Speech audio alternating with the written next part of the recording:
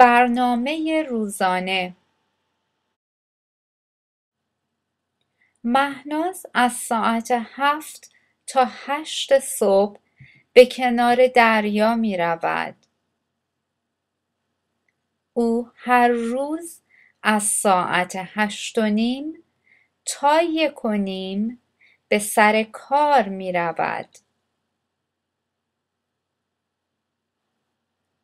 او هر روز بین ساعت دو و ربع تا سه و ربع نهار می‌خورد.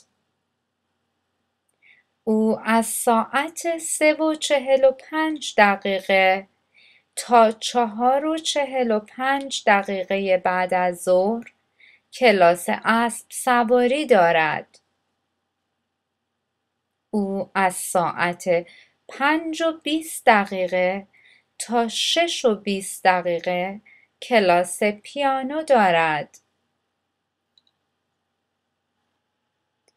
او هر شب ساعت هفت و بیست دقیقه به خانه برمیگردد. برنامه روزانه.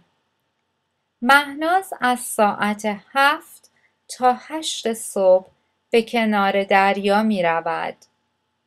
او هر روز از ساعت هشت و نیم تا یک و نیم به سر کار می رود. او هر روز بین ساعت دو و ربع تا سه و ربع نهار می خورد. او از ساعت سه و چهل و پنج دقیقه تا چهار و چهل و پنج دقیقه بعد از ظهر کلاس اسب سواری دارد. او از ساعت پنج و بیست دقیقه تا شش و بیست دقیقه کلاس پیانو دارد.